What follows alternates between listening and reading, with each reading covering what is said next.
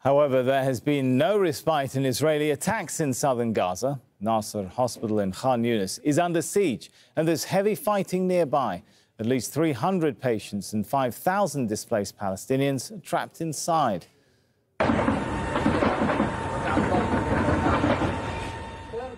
The World Health Organization is calling for an immediate ceasefire so it can bring in life saving supplies. The Gaza Health Ministry says the facility has run out of food, anesthetics, and painkillers. Doctors Without Borders says many wounded Palestinians will have no option for treatment as Israel's offensive intensifies in southern Gaza.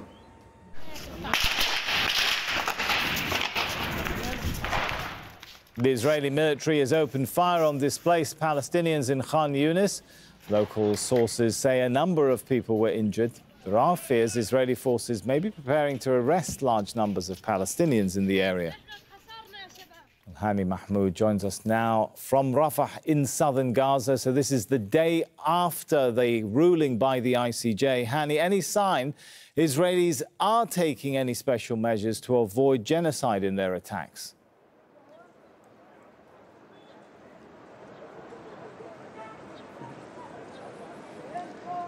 Yes, Samuel. Well, uh, just to, to, start with the, the, the level of disappointment and frustration among Palestinians here, because their priority right now is to uh, end this madness and to stop demasculing of of their entire uh, of their people and the entire population uh, across the Gaza Strip. And what they're looking at as a priority is is to save lives, to protect more lives uh, as the war continues. But uh, despite the ruling uh, that required Israel to end all acts of genocide, just less than 24 hours after this ruling, we're seeing uh, no let up in the attacks across the Gaza Strip. Here in Rafah city, an area with more than 1.7 million displaced Palestinians, all corner in this small place. Uh, an airstrike took place in overnight at the residential home where uh, tens of displaced Palestinians were inside the home. Three people reported uh, killed and multiple other injuries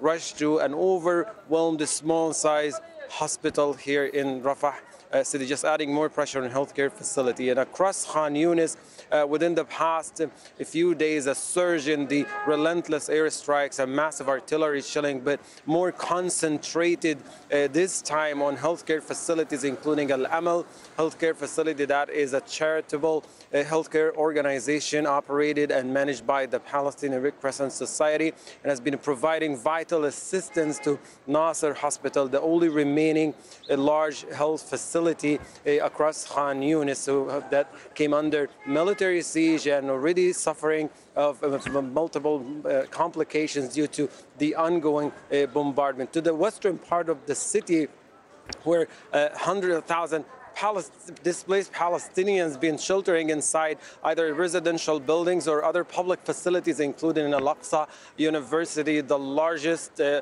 public university in the Gaza. Strip, We came under a, bombardment and artillery shelling with snipers across, within the vicinity of the area, taking position at uh, some of the remaining buildings and shooting as people they were trying to seek refuge uh, elsewhere. The central area was no different than Khan Younis as uh, right after the ruling, just within a few minutes of the, uh, the statement that was made uh, at The Hague, uh, the uh, two residential homes were uh, targeted and destroyed in the Nusayrat refugee uh, camp. So it just we're seeing the opposite of what was required by the Israeli military just right after those rulings were made. Uh, the, the, surge in the airstrikes uh, coupled with reactions by the Israeli military and Israeli political leadership that the war is going to continue and people don't see any let up in the attacks anytime soon.